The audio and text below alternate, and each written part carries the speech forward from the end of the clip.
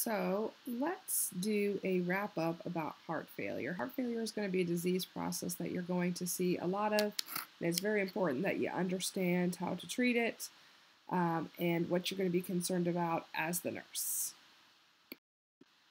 So let's start by talking about what the problem is in heart failure. And the problem, first problem is, is that the heart can't move blood forward. Um, and so heart failure is a pump problem. Heart failure is a problem of the heart muscle where it loses its ability to squeeze and move blood forward. There's lots of reasons it can happen. We're not going to go into that, but effectively it all comes down to that heart muscle becoming weak, becoming unable to move blood forward. So what happens? Blood backs up. Blood backs up and forms kind of like, you know, I always make the joke of it's a, um, you know, like you're on the highway and it forms, you know, like that long line of cars. That's what your blood is like in heart failure. It is um, backing up into other areas because it has nowhere else to go because it doesn't have a strong enough pump to squeeze it forward. So, what does the heart try to do after that? Well, the heart tries to compensate. It activates your sympathetic nervous system, it activates your renin, angiotensin, aldosterone system um, to try to help. And your heart really thinks it's helping. It has good intentions because your heart, all your heart sees um, is that you're not getting enough cardiac output. Because remember, let's let's go back. Heart can't move blood forward. So what happens? If you're not moving blood forward, you're not getting enough blood out. You're not getting enough oxygen out. You're not getting enough nutrients out to feed the rest of your tissues. So again, your heart then is like, okay, well, hey, that's not working. I need more blood. I need to get more oxygen out to my tissues. So what does it do? It says, hey, I'm going to activate my body sympathetic nervous system. What's that? That's that fight or flight. That's that a bear is chasing me. Um, you know, it's that activation of that, you know, I'm in trouble system.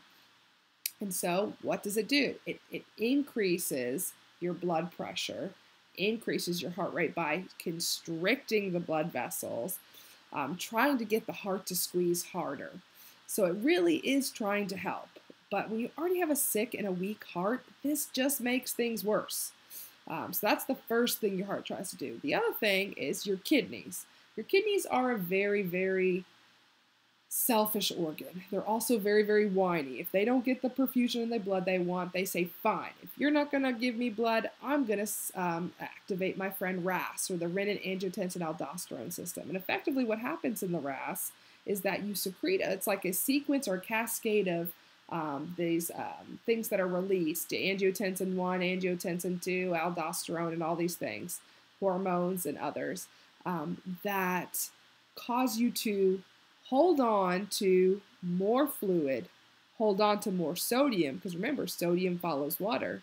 And then also, it causes like a vasoconstriction, again, that clamping down.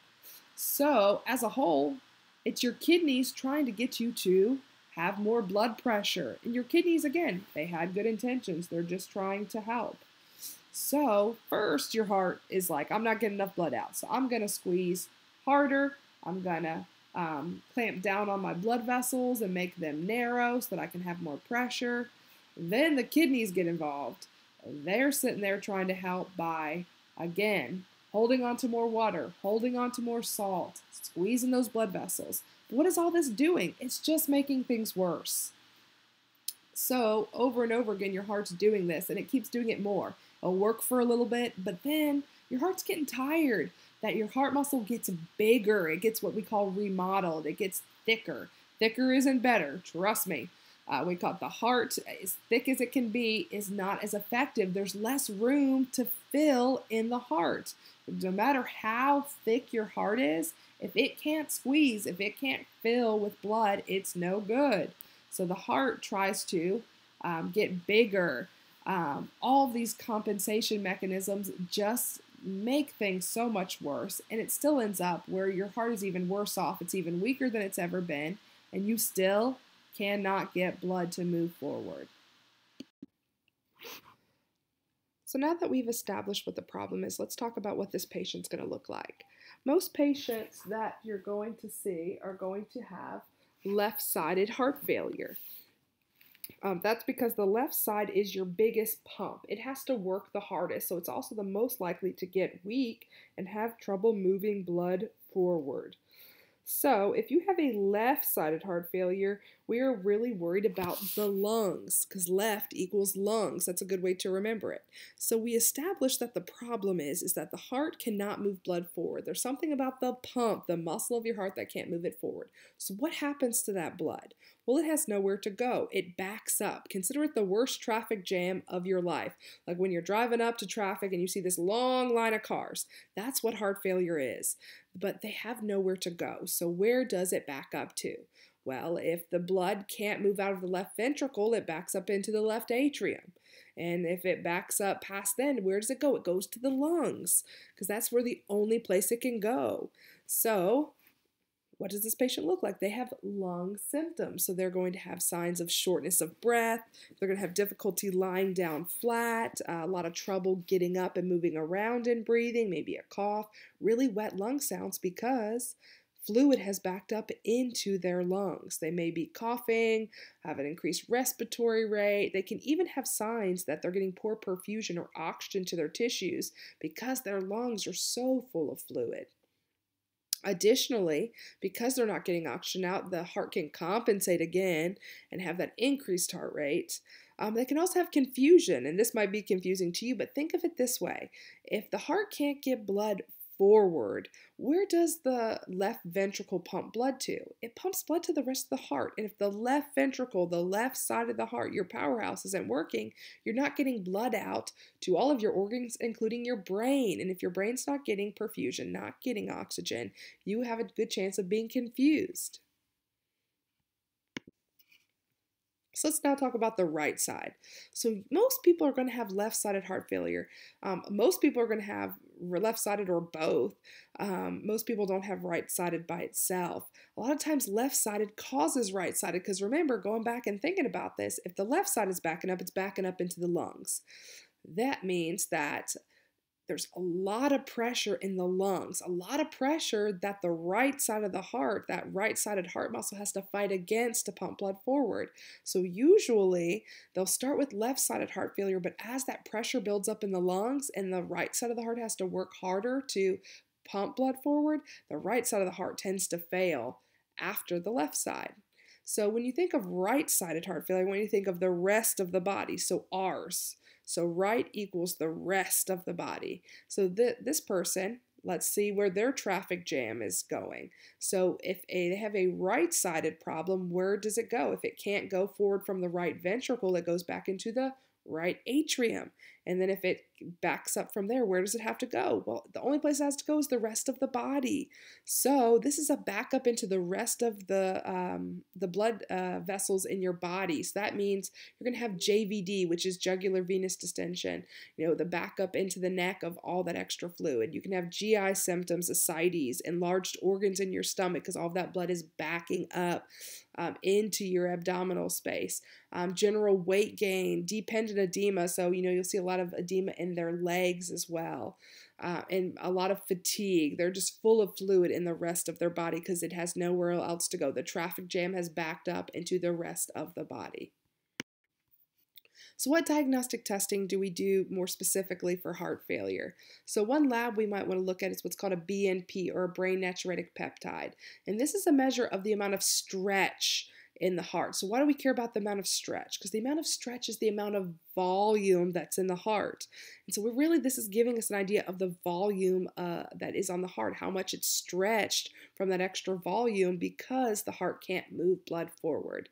Um, so a normal BNP is going to be less than 100. Another thing we might consider is a chest x-ray. And as you can see in this chest x-ray that there is a very large heart here. Um, and so why does that matter? Well, one, it's telling us we can see that there's something not right with the heart. The heart has gotten super thick in order to try to compensate for not being able to pump blood out. It thinks if it gets thicker, it will be stronger, be able to pump blood out, but this doesn't help. Um, and we also see how it can affect the lungs. And not only do the lungs, you can see there's all that congestion in there, but look at what the heart's doing to the lungs. It's taking up all the space of that left lung. That lung's not going to be able to expand the same way, which is going to cause a lot of breathing problems. So this can kind of let us know, you know, what might be going on with the patient. Additionally, we might want to check an echocardiogram. An echo is going to let us visualize the heart and see how well it's functioning. Look at that muscle function that is not working. See how well the heart is able to squeeze and contract and see how much it can uh, blood it can get out of the heart. That's really going to help us to stage and see where this person is in their heart failure. How much blood are they able to get out and get perfusion to their tissues? So now that we've established uh, what heart failure is, what it looks like, and how we'll diagnose it, let's talk about how we're going to treat it. We have three main goals with heart failure. We're really trying to decrease the symptoms, you know, and try to make this patient more comfortable because this is a chronic illness. There's no cure for it. We also want to slow down that compensation or stop that compensation. Your heart and your kidneys are trying to help, they're just making things worse. We want to kind of reverse that. And then we also want to prevent complications, of course. And our overall, you know, overarching goal is that we want to decrease the workload of the heart. We don't want the heart working so hard. We want to decrease its oxygen needs. We want to decrease um, how hard it is straining itself, you know, to prolong their life and decrease their symptoms. So, what medications can help with that? First, there's diuretics. And how are diuretics going to help? Well, diuretics are going to help because they're going to decrease that workload of the heart because they're going to decrease that volume. The heart's not going to have to work so hard to pump blood forward since there's not going to be as much volume that it's, you know, kind of drowning in. But also think about if we get some fluid off the lungs, that person's going to be able to breathe more easily and they're going to be able to um, not have as much oxygen needs because their lungs are not going to be filled with fluid, so they're going to breathe a little bit better. So not only do diuretics help with comfort, you know, just the daily living, um, but they're also going to help decrease that extra strain on the heart with all that fluid. I'm going to skip down to positive inotropes. So positive inotropes help because what's the problem in heart failure? The heart is not squeezing. It's not able to move blood forward. So positive inotropes improve contractility. They improve that heart squeeze so you can get blood out so that you have more oxygen to your tissues and also so that your heart doesn't have to work so hard. It kind of takes off some of that um, workload of the heart. Um, so these two drugs in the middle, you'll see ACEs and ARBs and beta blockers, they're both starred. And because both of these are going to help significantly decrease the morbidity and mortality that's, uh, that heart failure has.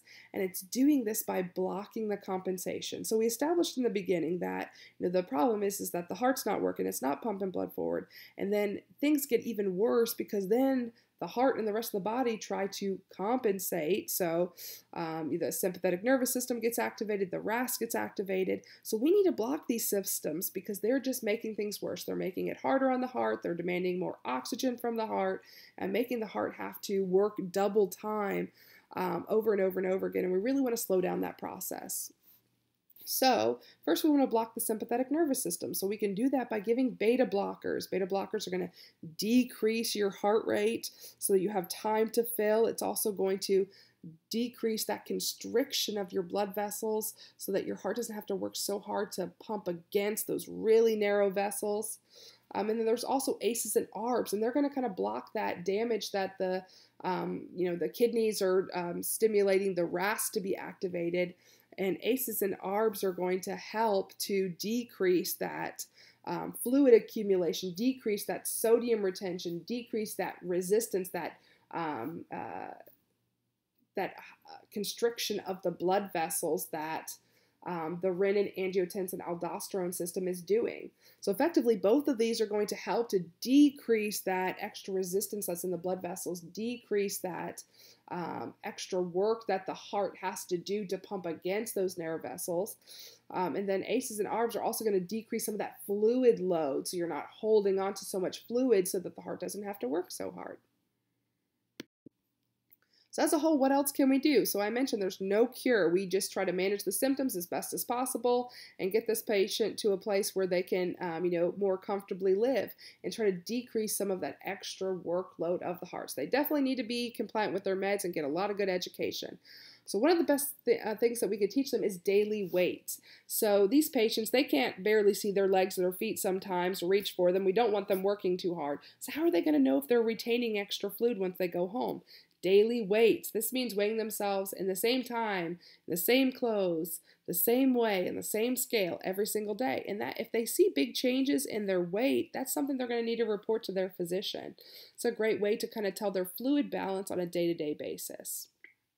Additionally, we want to educate them on a diet, a low sodium diet, a cardiac diet, um, to help decrease some of those extra risk factors. Maybe help them lose some weight, which can help to decrease that workload of their heart.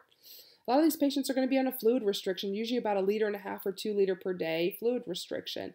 Because remember, they're not moving fluid forward. They do not have low volume. They just don't. They have a pump problem. They can't get that volume they do have moved in the right direction, moved to the right places.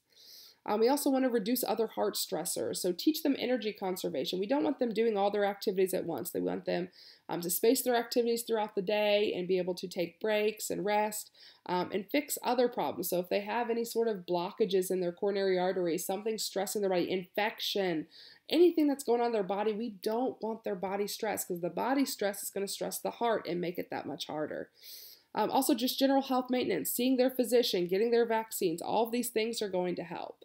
Um, so, as a whole, we really just want to support this patient, help them to decrease those uncomfortable symptoms, get that fluid off, um, have their heart stop having to work so hard and fight against the rest of the body. So, um, this is heart failure in a basket. I hope it helped. Thank you for listening.